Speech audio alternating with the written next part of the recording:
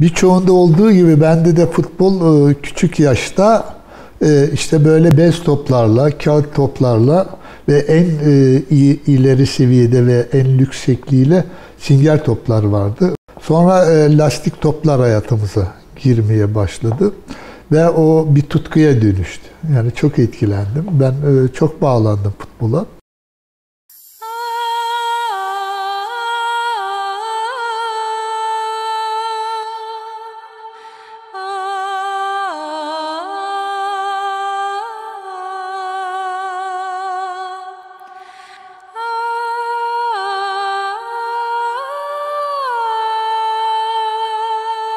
Kale sınırlarını iki taşın, maçın süresini nefesimizin belirlediği, bugünden geriye baktığımızda her şeyi affederek büyük bir özlemle andığımız masumiyet çağının hikayesidir bu.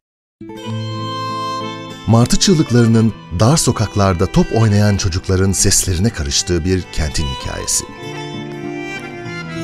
Özkan Sümer'in kimliğinde futbolu hayata, hayatı fena halde futbola benzetenlerin hikayesi. Hikayeyi bilmeyen yok. Hepimizin gözleri önünde yaşandı. Hepimiz şahidiz. Yetiştiği idman ocağının tarihi, onun ilk gençliğinde terlettiği formalar olmasa bu kadar şanlı sayılır mıydı? Sonra Trabzonspor'un fırtına lakabı, onun sesi, soluğu, inadı olmadan mana yüklü mü olurdu? Paranın şehvetine, iktidarın gücüne, çoğunluğun tahakkümüne, yeri geldiğinde bir devrimci gibi mesafe koymasını da bildi. Bu ihtilalin en önemli aktörlerinden biridir kuşkusuz Özkan Sümer.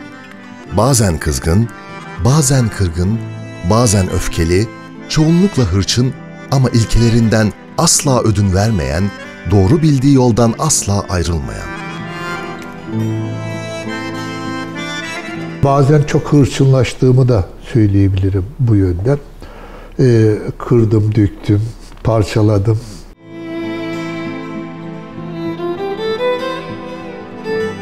Yine de e, e, teselli bulduğum taraf şudur. Çok çok oyuncularıma düşkündüm. Çok severdim. Yani onlar benim bir parçamdı ve hatta hayat kaynağımdı diyebilirim. Halen de öyledir.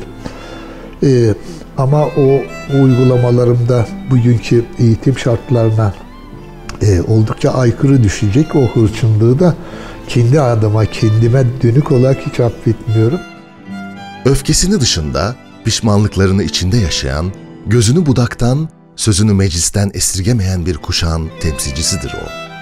Futbola sokak aralarında bez toplarla başlamış, oradan zirveye milli takımın hocalığına tırnaklarıyla tırmanmıştır. Hep futbolu düşünmüş, hep teoriler geliştirmiş, hep bildiğini ısrarla tekrar edip hedefe ulaşıncaya kadar inandıklarından vazgeçmemiştir.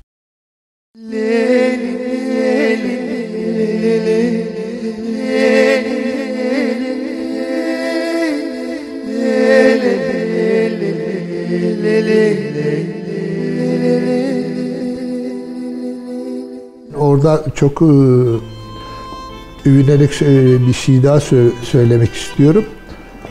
E, Türkiye'de ilk defa bizler amatör e, kulüplere genç takım kurmaya başladık.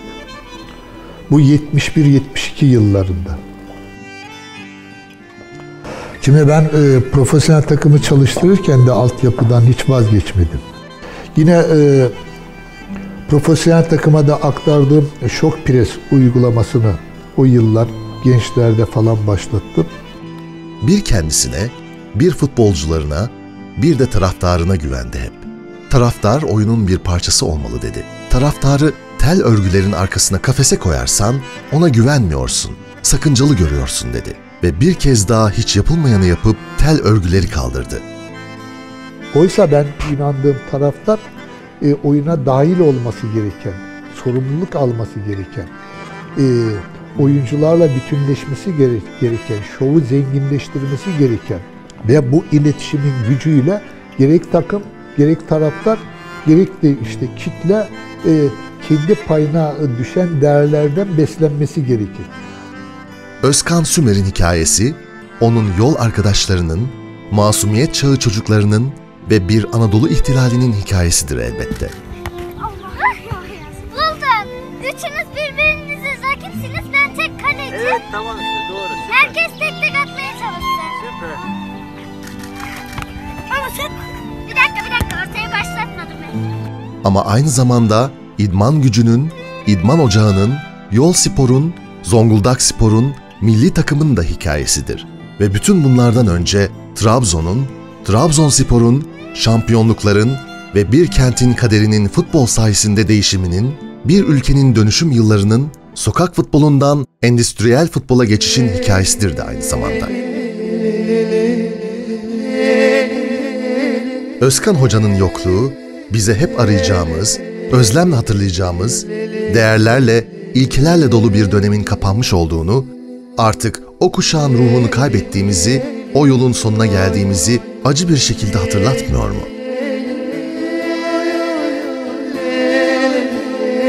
Trabzon bir Anadolu e, devrimini gerçekleştirdi ve burada misyonuna uygun bir davranış sergilemesi ve devam ettirmesi de gerekiyordu.